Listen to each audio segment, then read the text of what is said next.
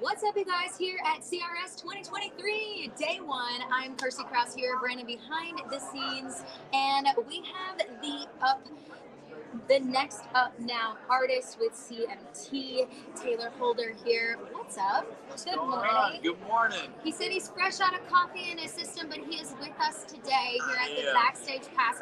We're celebrating a lot of things for you. This is like you're popping off I'm and we're so I'm excited trying. to have you here today on the Backstage Pass. We're celebrating "Marry You," and uh, the acoustic version's coming out. Yes, ma'am. That's yes, coming it's up. dropping out very soon. We don't have the just yet, actually, but it is dropping very, very soon. So But right now on the CMT charts, you're number 24. I am. That is killer. it's awesome. It's, what do you do to celebrate all this stuff these days? It's so funny because like I don't do much because I don't drink. I don't ever like really party or anything like that. So I'm just like it's usually just a little gathering at my house and just close friends. And we're Are you an ice cream person? Is that I your version of partying? I, yeah, ice cream and some like brownies or something like that. That's it. Awesome. Yeah. Well, it's this is wonderful to have you today, and we just absolutely love your single. Brandon's been talking about it, and so uh, we're very happy to have you on as well. So the acoustic version's coming out. When are we expecting that? Um, I think we're June? looking in like the next like, couple weeks. Yeah. Oh, in a couple yeah, weeks? It's really soon. Holy cow, Um, guys! 24th is it gonna be? Oh, I guess we do have it. 24th. March And, uh, yeah, 24th. March 24th. And um, yeah, right after that we got uh, we're working on a cool project actually. That's uh, no one really knows about. So the first hearing about it, but Uh, we love any dish that artists are willing to give us here on the Backstage Pass because we're Yep. called the Backstage oh, 100 Pass. percent. So next up now, artists, what did that feel like when you found out? CMT. It doesn't. All this stuff is so. It's so like foreign at the same. Like it doesn't feel real. It's like it's like it's just all happening so fast and like everything's like moving so well. It's the greatest show in the world. That's what I want to do. Exactly. You know? Okay, back up, back up. Tell me about growing up, Tayler, and like what that was like. When did you first fall in love with music? Who were you listening to? Who inspired you? Yeah, yeah, of course. So I grew up super small town, like right outside of Dallas Fort Worth area. It's called Alvarado, Texas. Yeah, Texas And representing. There's like a couple thousand people in my town. Like it's not very big at all. And um, couple stoplights. yeah, it not very. We just we just like not too long ago eventually got like a McDonald's and a Taco Bell and all that stuff. Like, right. we're, we're getting we're getting there. We're expanding. But um, yeah, I grew up just like uh, every other kid. I was like a big like adrenaline junkie kid, and I was doing every sport growing up. I started riding dirt bikes. I- The minute you said that, I pictured dirt bikes. Yeah, I was. Uh, so I've been. I used to. I used to race like my whole life since I was three years old. So uh, and all that, and then um, I, I I started listening to music. Probably say when I was like 14 or 15. Um, in that era, we were listening to like a lot of like I was listening to like, a lot of like Justin Bieber stuff, obviously all of that. But yeah, like country. I mean, like now, like I mean, obviously a lot of older countries like that. But like now, it's like I, I listen to you know Cody Johnson, Morgan Wallen, Combs, like all the Parkers, and Yes. you know, and all that. But um, I never got into music back then though, because like, like I said, I was from such a small town. No one knew music did like the internet stuff. It was just like a bunch of like redneck songs.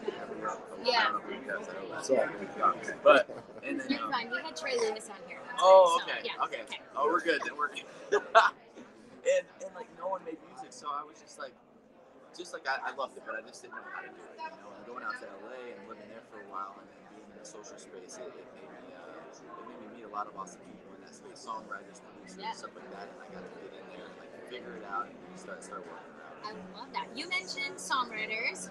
You've been writing with some really awesome people here in town, like Parker McCollum, Shane Moody. Like, tell us what that's like in the writing room. it's you know I it's so crazy to like share the room with them because they're obviously like great. They're they're they're such amazing talented people. Um, Shane Mooney is one of the greatest I've ever my life. We got in there. I always tell people we he he scheduled a session for like 9 a.m. or something like that. I was like 9 a.m. That's a little early to be singing. To be honest with you, I get in But there. yeah, so you're like, I I'm gonna get do it. Of course, I get in there and, and uh, he's on the guitar and starts singing. And I'm like.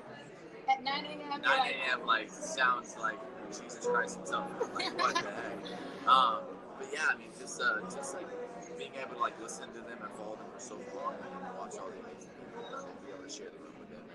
And, Parker was actually so nice. Like we ended up just writing a little bit at his at his house. Nothing ever like came of it, but you know, it was it was still really cool. But he I came out here before the CMA Fest, and, and then I was only supposed to be here for two days, and I, I ended up meeting Shane and all that stuff to run. And I was like, all right, I'm gonna stay here for a couple of days. I didn't have a hotel or clothes or anything like that. I was like, You're just like, I'll figure it out. Like, And Parker and Hallie were like, oh, you, you just come stay with us, like stay at our house, like da da da da. And they were leaving the next day. And I was there for like a week. They're like, here's, he was like, here's all the keys to all my cars. Make yourself at home. And I was like, wow. what the heck? People are so nice in Nashville. That's why I love it. That's why I was like, I gotta get It's out here. different than LA. It's it's a different vibe here for sure. We're uncomparable in so many ways. Yeah. So with 30 million streams, okay, let's wrap our brains around that for a second. What are people in your hometown saying to you? Are you getting like the messages like It's so proud of you, like it.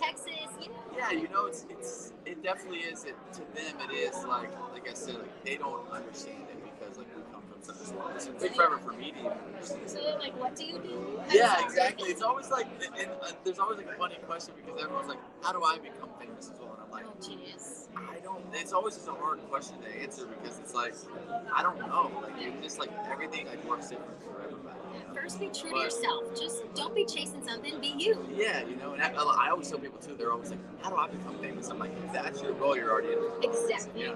Exactly. And um, but you know, I it, don't they don't understand it, and, and I don't talk to a lot of people actually.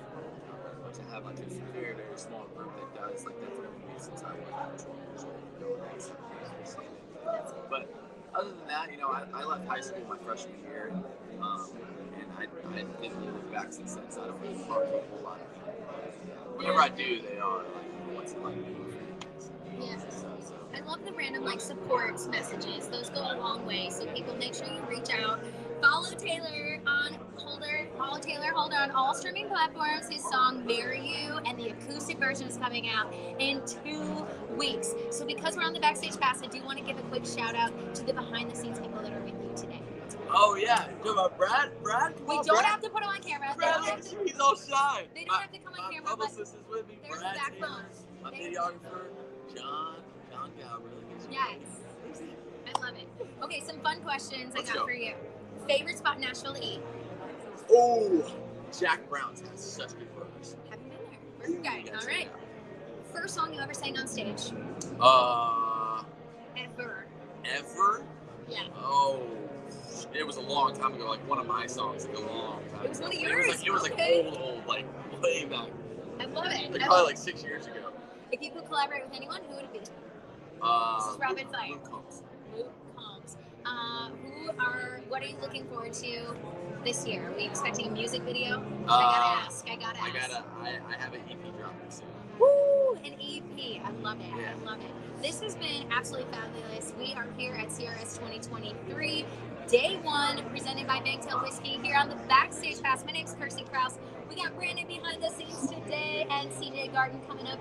So uh, thank you guys. Feel free to share out these streams as we go live throughout the week. We have plenty more artists coming up. And make sure you follow Tayler Holder right now and listen to his latest single, Marry You. Acoustic version coming out in two weeks.